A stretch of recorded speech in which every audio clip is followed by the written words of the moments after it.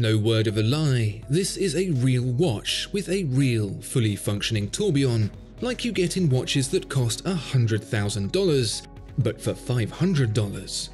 Genuinely, Scout's honour. There must be a catch. What is it? Looking to buy, sell, or exchange a premium watch? Visit Watchfinder, the pre owned watch specialist. I know it's annoying me saying, but when you subscribe to the channel, it really, really makes a difference.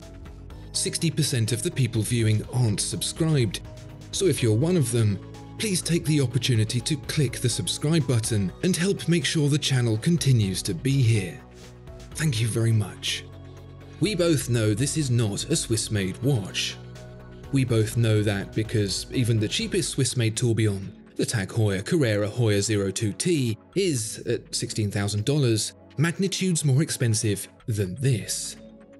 Never mind the $73,500 Jaeger-LeCoultre Master Ultra Thin Tourbillon or the $117,000 Vacheron Constantin 56 Tourbillon.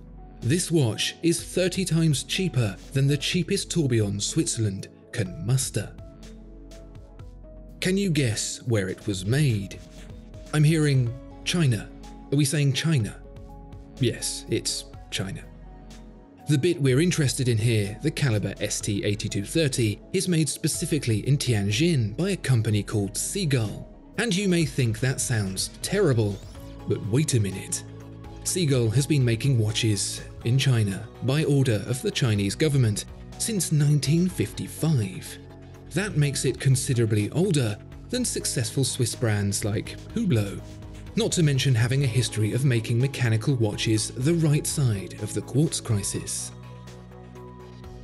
It's the biggest producer of watches in China, and not just the simple stuff. It makes chronographs, hand wound and automatic, minute repeaters, and of course, tourbillons. The irony really is that Switzerland started off making watches in much the same way as China did, producing poor quality, cheap fakes. But like Switzerland, China's capabilities are improving every single day, and a fully functional tourbillon is proof of that. What does that mean for you? Well, it means the impossible becomes possible. There are many, many people who would surely love to enjoy a tourbillon of their very own, who might never even get the opportunity to see one, let alone lay claim to one, and now they can. For $500, a $500 tourbillon. Can saying that ever get old?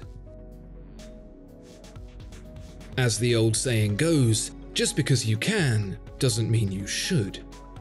Does that apply to this $500 tourbillon? If you can afford $500, should you be spending it on a watch like this? Is this watch all things to all people? No, of course not. Don't be silly. It's a $500 tourbillon for crying out loud. Even in China, there's only so much you can get for $500. If you have $500 that you want to spend on a watch to cherish and enjoy, spend it elsewhere. This is like when people bought dirty old Ferraris for Ford Mondeo money and expected them to cost Mondeo money to run. Your $500 is better spent on a tidy Seiko or something like that, something that's not a gamble that could end up with you winning the consolation prize, a brand new paperweight that looks exactly like a Chinese tourbillon. On the other hand, if you don't mind the idea of potentially turning your $500 into a useless pile of bits, you could be in for a pleasant surprise. The dial is poor quality, the hands as cheap as you can expect, the case and crown pretty rough, but the actual movement isn't half bad. Sure, it won't be winning any beauty contests, and it's got more chance of going to the moon than it has being awarded a Geneva Seal, but it is not bad.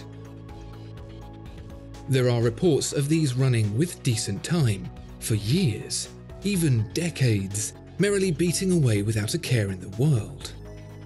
Your $500, should you choose to risk it, could end up netting you a genuinely reliable daily wear tourbillon. It's 41mm in diameter, 11mm thick, steel with a 60 hour power reserve and 50 meters of water resistance, although you'd be brave to test it. So the answer, much to my surprise, is yeah. If you don't mind taking a chance, give it a try. But what about the main event itself, the actual tourbillon? Never mind being wearable, having a decent power reserve, actually working, does it give the same sensory satisfaction that has turned the competition spec tourbillon into the tart of watchmaking?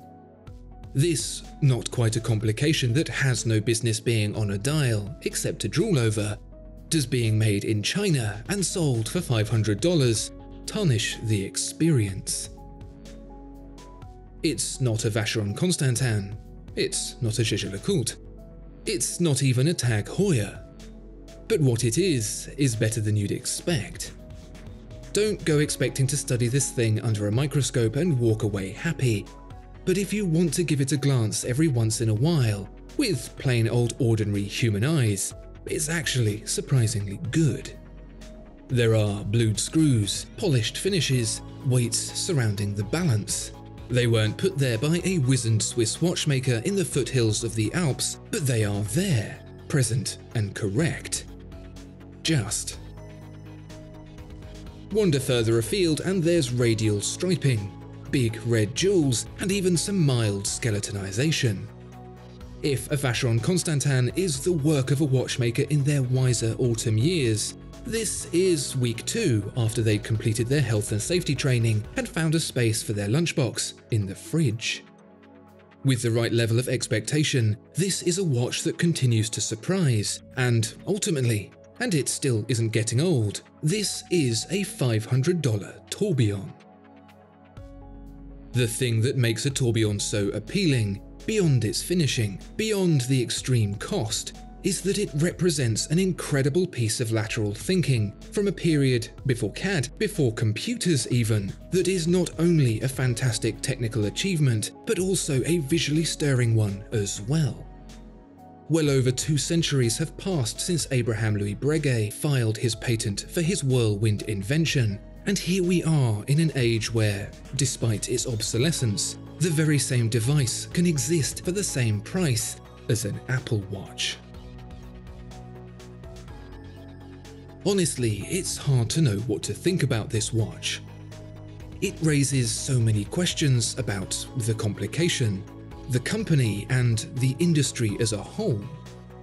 It almost feels like it would be better to go on in blissful ignorance, not knowing it exists at all. But it does, and here it is, all $500 worth. So we know what it is, but what does it represent? An opportunity? A changing tide? Or just a fringe oddity that a handful of people are aware of? It may be hard to say, but in the meantime, for, yes, less than $500, it's pretty easy to enjoy. What do you think this watch means for watchmaking? Let us know in the comments below. Discover more exceptional watches at Watchfinder. Thank you so much for watching this video. If you enjoyed it, please do consider giving it a like and subscribing to the channel. If there are any watches you'd like to see featured, please let us know in the comments below.